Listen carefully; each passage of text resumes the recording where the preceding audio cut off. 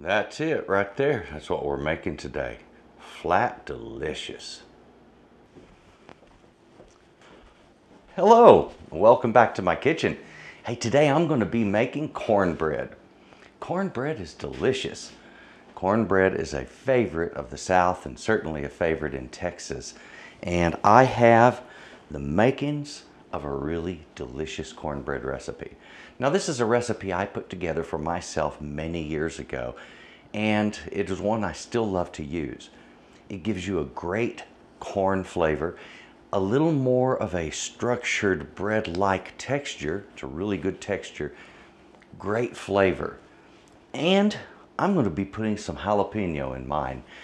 You can leave the jalapeno out or put it in yours either way. It's delicious if it's done right. And I want to show you how to prepare those jalapenos and not having any of the heat of the jalapeno in your cornbread. It's a really neat thing to do, so it's not that hard. Got some great ingredients here, but before we get into that and get started on it, let me ask you to please at some point take a look in my description box. You're gonna see some links there links to my website, and that's satrotter.com. That's where you're going to get my recipes, you're going to get aprons and shirts, and also other products that I sell, as well as my services. Check that out. It's a really cool thing.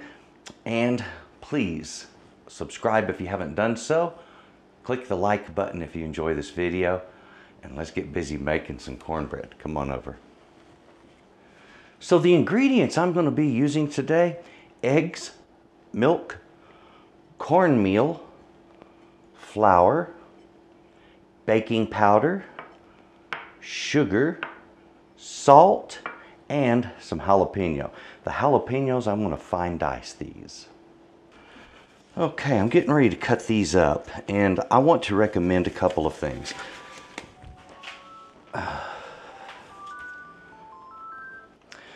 Pardon my alarm going off. Uh, what I want to recommend is these gloves, uh, what I'm putting on. You might be thinking, well, goodness, you know, you can just wash your hands. Well, yes, you can. However, when it comes to working with chili peppers, hot peppers like this, these things um, have an oil in them called capsaicin, and that oil, when it gets on your skin, can burn you, okay? And um, it can burn the face and other sensitive parts of the body that it really doesn't need to be on. Uh, I've never really had it burn my hands, although I've had other people tell me that they've been through that. And uh, so what I wanted to mention to you is if you use a glove, you don't have to worry about getting it on your skin. You don't have to worry about washing it off. And it really, it makes working with jalapenos just a lot easier. So do yourself a favor, get some gloves. Um, the next thing is, when it comes to jalapenos that are pickled, guys, those things are like hot all the way through. And that's because the capsaicin, that hot oil that's in these things, washes from the core right here off into the green part, this stuff here that we want to use. So if we simply take this and remove this core and use fresh chilies like this, then we don't have to worry about getting any of that hot capsaicin in our food. All right, now, some people don't mind it. Some people love it. Some folks love the seeds. And folks, if you do, go ahead and put those in yours. That's fine. I'm not going to knock that but I like a, just a nice green, super fine, fi, uh, super fine diced jalapeno. And uh, so what I'm looking for is just some really tiny squares that will stand out beautifully in those muffins. Now if you'll notice I'm using a spoon, simply scraping those cores out. It's not hard, uh, so just do the same thing. You can cut these out with a knife, but frankly I've tried both methods and I really think this one's easier. Um, so I recommend, recommend it to you as well. Now, when I want to be cutting jalapenos like this, something I want to mention, if you've got a really sharp knife, you can cut through the skin fairly easy with a really sharp knife, but not everybody has really sharp knives. So if you don't, I want to recommend you start from the inside, and you'll find that it cuts a lot easier this way, okay? And what I'm doing is I'm making just some little thin matchsticks here, okay? These are only mm, maybe a total of um, an eighth of an inch to three sixteenths of an inch wide. They're really small, okay? Now, same way that I sliced these nice and thin, I'm just going to be making very short cross cuts to get a beautiful small dice.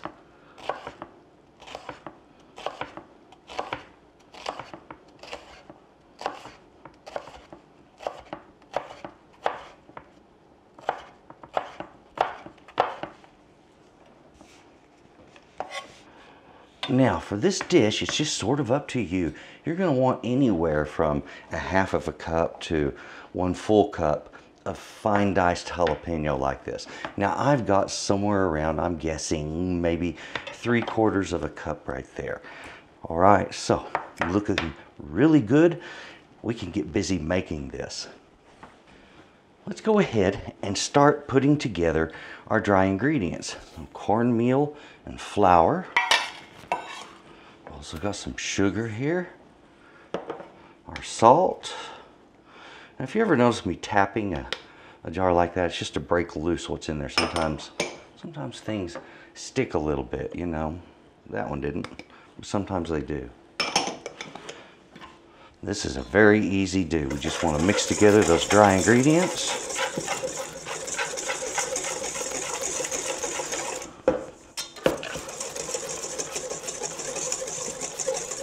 There we go.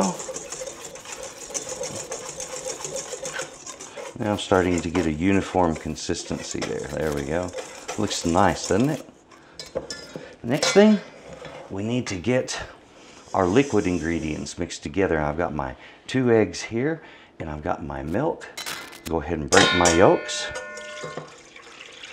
Pardon my bowl singing so much. They do that.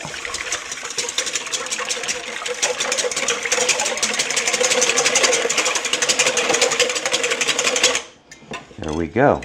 Now we have both wet and dry ingredients ready and my jalapenos all diced up and ready to go. So let's get this mixed up. Once it's mixed up, we're going to allow the whole thing to rest for a little bit. Okay.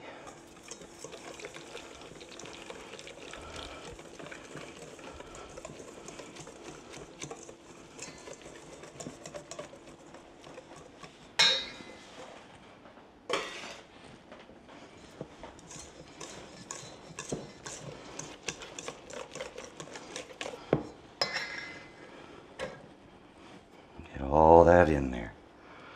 Watch out for those fingers. I was real careful earlier not to get any capsaicin on my hands. And that's so important because you know you scratch under your eye or something an hour later. Next thing you know, your your eyes are watering, your face is burning, and you're wishing you hadn't done that. and so that's why I really recommend those gloves. Now look at this. This looks great, doesn't it? But we have a, a situation here. That cornmeal has just been sitting there dry and hasn't been doing nothing, and it is still somewhat on the dry side. I need my cornmeal to absorb some of this liquid. It's going to make it a much better quality if I do that, all right? So I need to give this some rest time. All righty. Just let it rest. Now we're going to be using some muffin cups in order to make our corn muffins here.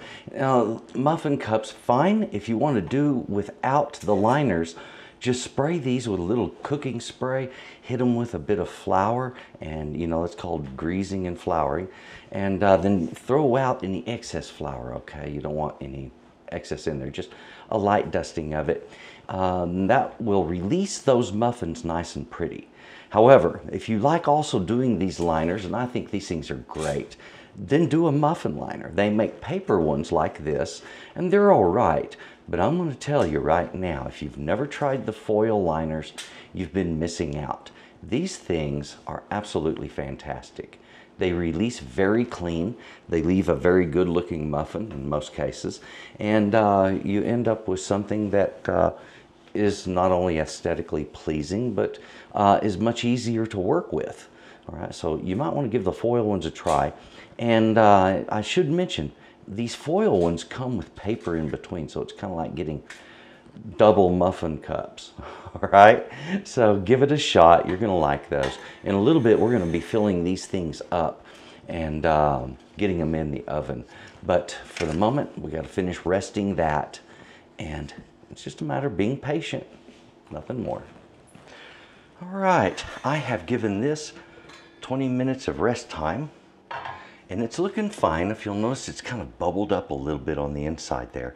Now what I want to do is to put a couple ounces of this into each one of these. And I'm going to use this. This is a two ounce ladle. Also, something that's very handy if you want to do portioned measurements. These right here, this is called a disher. They're very handy. This one's a one and a half ounce. It's the largest one I have. So I'm going to use this, which is a two ounce ladle. I'm just going to pull up some of this and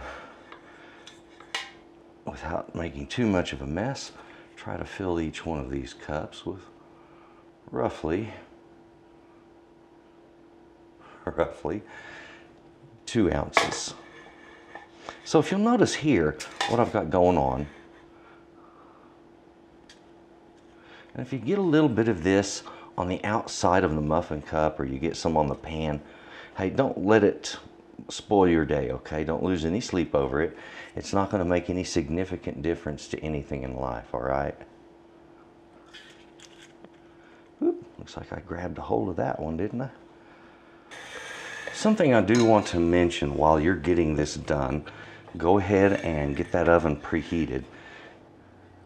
You're going to want to preheat your oven to 350 degrees. Alrighty, it's time for these to hit the oven.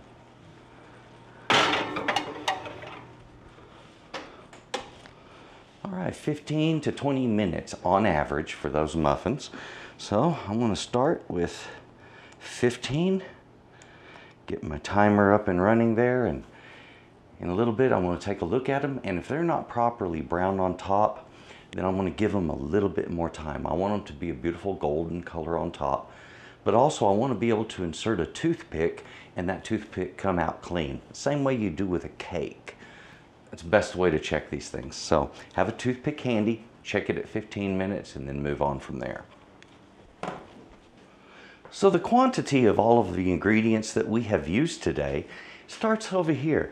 One cup of flour, one cup of cornmeal, one cup of milk, two eggs, enough jalapeno when it's diced, you have anywhere from a half a cup to a cup of diced jalapeno, four teaspoons of baking powder, a quarter of a cup of sugar, and a half a teaspoon of salt, and that equals the delicious that I'm about to show you. Now let's take a look at these gorgeous corn muffins. I'm going to get these out of the oven.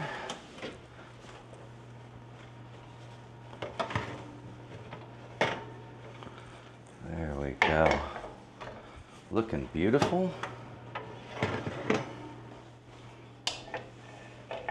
Absolutely. Okay, so what we want to do is check these to make sure they're finished.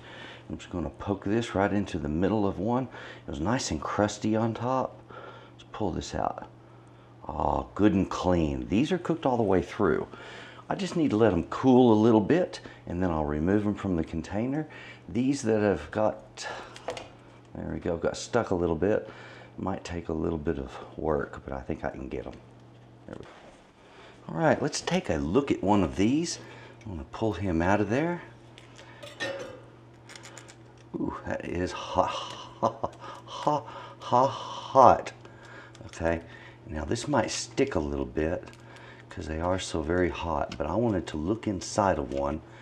And boy, I just don't want to wait, let me tell you.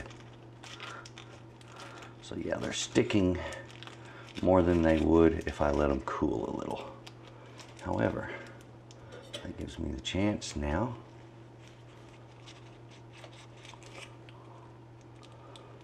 Look at that. Look at that gorgeous muffin, folks. Look at the structure on the inside of that bread. It is beautiful, got a great texture. It has great flavor. I already know because I love these things. I enjoy them. as often as I can. Mmm, absolutely good. Now, just gotta let them cool a little bit, and then they're ready to enjoy. Well, I've got them all out of the pans and stacked up here, and I have this one that I just finished cutting open right in front of you folks. I'm gonna put a little butter on it. Love butter on my muffin.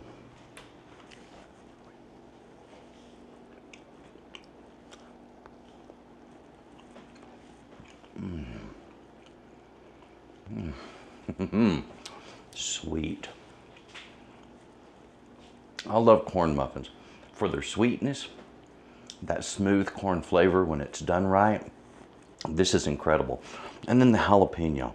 Jalapenos turn sweet when they're cooked right. Okay, so try this. And remember, it works with fresh jalapeno. Don't use pickled. Mm hmm Folks, if you would, please subscribe. Click the like button. If you haven't done so already, drop a comment right down below here. Click on my website and check out what I have there. And thank you very much for watching this. And you folks have a good day, all right? Mm-hmm. It's good.